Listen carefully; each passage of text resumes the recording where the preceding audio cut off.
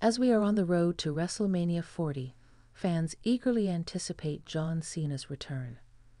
The Cenation leader's last appearance in WWE witnessed a devastating loss at the hands of Solo Sikoa at Crown Jewel 2023.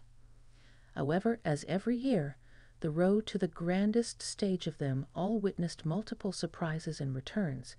This increases the likelihood of another John Cena run in the company and potentially participating at WrestleMania 40. So, if the legendary star wrestled in shows of the shows this year, he might clash against Logan Paul in a singles bout. The probable scenario could see John Cena returning to SmackDown on the road to WrestleMania. However, upon his return, he could be involved in a segment with the Maverick, which eventually resulted in a showdown between these two at Mania. Notably, this isn't the first time speculations for a match between Logan Paul and Cena arise. Even last year, the latter was assumed to be involved in a match against the YouTube sensation, but that didn't come to fruition. Instead, the 16 time world champion wrestled Austin Theory in a United States Championship bout, and Logan wrestled Seth Rollins in a singles contest, which resulted in both stars losing their respective matches.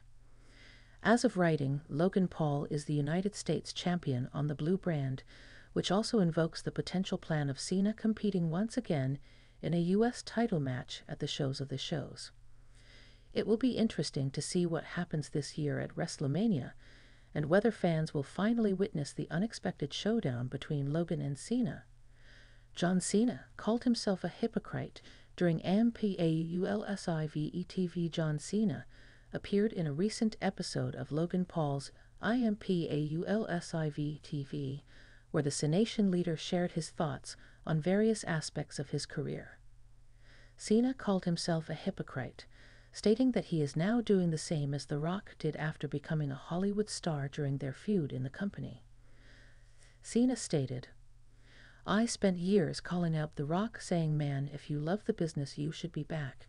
What if asterisk, asterisk, asterisk, asterisk, asterisk, asterisk hypocrite I am. I love the business. I should be back all the time, but I'm not. John Cena, interview value slash IMPAULSIVE via Twitter. Despite being a part timer in the company, Cena's hardcore love for this business is hard to deny. Please don't forget to like, comment, share, and subscribe to my YouTube channel Jaxcey N24. Thank you for watching.